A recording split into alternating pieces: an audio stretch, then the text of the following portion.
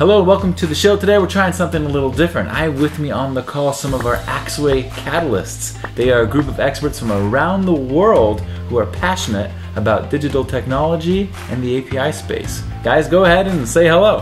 Hi. Hello. Hey everybody. I invited them on the call today to play a little game. Let's get going.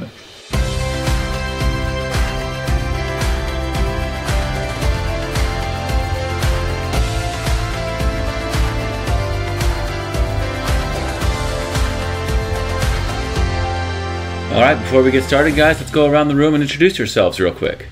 Hello, I'm uh, Eric from Paris. Hello, I am Emmanuel from Paris too. Hello, I'm also Eric, but a different one, and I'm not in Paris, I'm in Zurich. Hi, I'm Eyal from Toronto. I'm Brian. I'm coming to you from the Silicon Prairie out here in Omaha, Nebraska, USA. Thanks, Brian. The game we're playing today is called Breaking Down Tech Jargon. Now, you all know what I mean when I say tech jargon, right? It's why marketing and sales people use words like enterprise and scalable and interface. It's great for when speaking to a very technical audience, but it can be easily lost on someone who has a non technical role.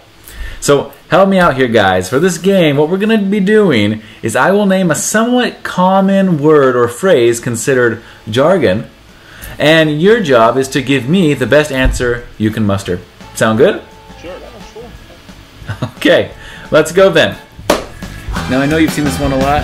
Big data. What does it mean? For me, it's the opposition of uh, structured data. It means it's data that doesn't fit on my computer, pretty much. It's really big. Velocity, volume, variety are the three elements of um, that makes uh, data qualified as big data. So variability is also, I think, one of the things that's also goes in there often. You know, it's like on different kinds of data that you kind of have to align to make sense of them. I thought it was uh, just data you can't put in a regular database. So you have to have a whole new set of solutions, a whole new set of technologies like, you know, Hadoop, and you have to have a whole new way of analyzing it. So, you know, yeah, or just a big or just a big hole somewhere, and then you have a data yeah, lake. A lake. Yes. A lake. Yeah. A lake. A lake. And, and, then it turns into the swamp. Yeah. And or of, swamp. of course, the, the swamp, the data swamp. And of course, the reason everybody needs all this new Hadoop unstructured, different way of relating data is because it's big, because it's it's just so big. My data is everywhere, all at once, constantly feeding new events into it and in, in astronomical numbers at astronomical velocity. So how do you deal with all this? I say my mind's blown. Bye. so how do you drain the swamp uh, with a stream? But I, I don't think people still use big data, do they? Um, well, the term is data. probably a little bit too old by now. Yeah, it's like at some point, yeah. right? All these terms, like they they are at the at the height of their hype curve, and then they're just not as sexy anymore. And of course, all, all, that technology you mentioned, Eric, that, that automatically means that you can understand the data and its structure and its meaning and its metadata and its semantics. It's just, it's just the technology, right? all right, next up, the word is blockchain. Blockchain. Oh, that, that's for Emmanuel. I have a memory about blockchain. It's the first and only time that a CEO of the biggest bank in Europe called me to, to, to the phone and say, I forbid you to talk about blockchain.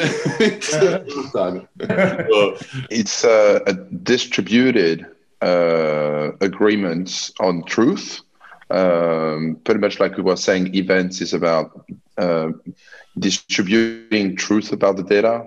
The blockchain is about distributing the truth about uh, the data um, where anybody can check um, what has been considered as, as truth as part of an agreement uh, with the signature from each of the parties. If you want your transactions to be really, really slow and really, really expensive, then move to blockchain. Okay, maybe it's not the most expensive one. I yeah. I would uh, agree to that, but it is super expensive, and it's something. Yeah, you don't want to use think, it unless you need it. Yeah, sorry. And you pretty much never uh, need it. So if you want to have uh, philosophy conversations, about agreements, uh, blockchain is the way to go. And now, and now, in terms of technology, I like blockchain a lot when it comes to uh, replacing intermediaries uh, for uh, cl- clearing and settlement, either of payments or um, when you buy uh, shares. Uh, it is way more efficient, and there is no need for an intermediary to say, "Okay, oh, this is a transaction that happened." It's it's written there uh, right away, which is a, a, a, main reason why most of the clearing houses right now are investing and should be investing heavily in uh, in the blockchain. It's a huge cost savings because I remember the days when I was at Barclays and Bank of America. You had whole hundred person teams dedicated to doing trade matching and doing the counterparty checks and trade breaks. So, yeah, I think, I think it could yep. be good. Yeah. What is a blockchain, right? It is distributed agreement. It's a fancy ledger. It's it's the 21st century answer to uh, double entry bookkeeping, a way to make sure that a group of people who agreed that something happened, that some transaction happened, has happened in, a, in an irrefutable way. Uh, so that can be powerful for all sorts of uh, things. Uh, cryptocurrency, of course, being one of them, uh, but but one of many. All right, last one: digital transformation. So my main thing about that is always to tell, like you could tell whenever you talk to organizations, like in a lot of cases, you really get that vibe that they look at you and say, "Tell me how to get over with it. You know, tell me how to do it, then I can do it and I'm done with it. And then my main thing is always to tell them, no, no, no, that's like that's a new way of existing, and you're gonna exist like this for the rest of your existence. And I think that is the hard thing for a lot of organizations to accept that it's not something that you just do, and after that you just do whatever you did before. Yeah, it's sort of like a diet, right? It's it's not like oh, I'm going to diet for for six months and then I'm just going to go back to eating hamburgers and French fries every day. It's like no, no. We should you, actually you start to, using. You have that, to eat healthy. Yeah. You, you, don't want to do a yo-yo transformation. That is what we should tell them. Ooh, I like that yo-yo transformation. Um, well, when you said diet, um, I, I, I, look at it as something that is temporary and uh, not necessarily uh, nice to go through.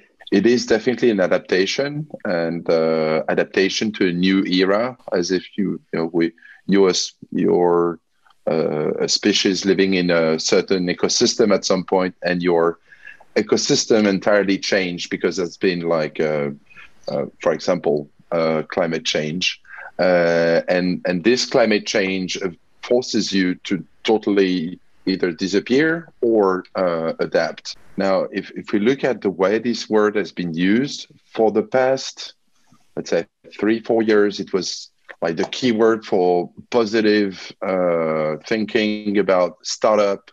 Uh, oh, this is cool. This is uh, this is what what uh, what you have to do. Uh, but at the end, it's only when people have started to or realize that any transformation, any change is painful that they can really accept the digital transformation that will take them 10 years to go through. It kind of makes me think about some organizations, some companies, little startups or big ones, they they're natively digital.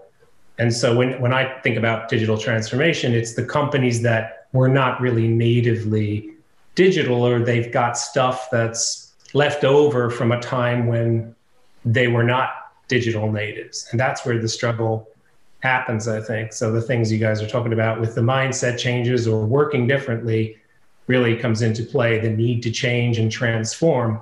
When we talked about the information revolution and the web, and people, you know, we're not trusting that that was going to. I had somebody tell me once that we couldn't put our services on the internet because the internet is for nerds you know? So i think we're we've kind of gone beyond that and it's more about how to accelerate that process and how to make it more native not only just for the technology but the way that you operate as an organization. Indeed. Uh, you remember the information superhighway oh yeah. Oh my god. I love that one. Surf it man. Surf oh i loved it.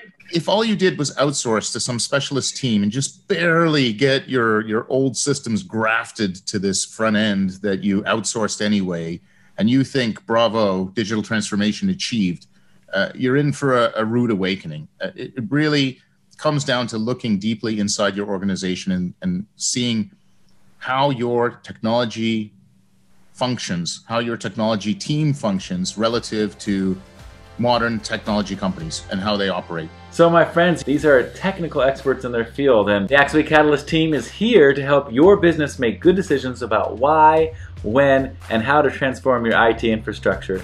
You can reach out to them at any time by going to catalysts.axway.com and schedule a time to meet with any one of them. Now there are many more words out there that we could easily discuss, so we're probably going to have to do an episode just like this soon.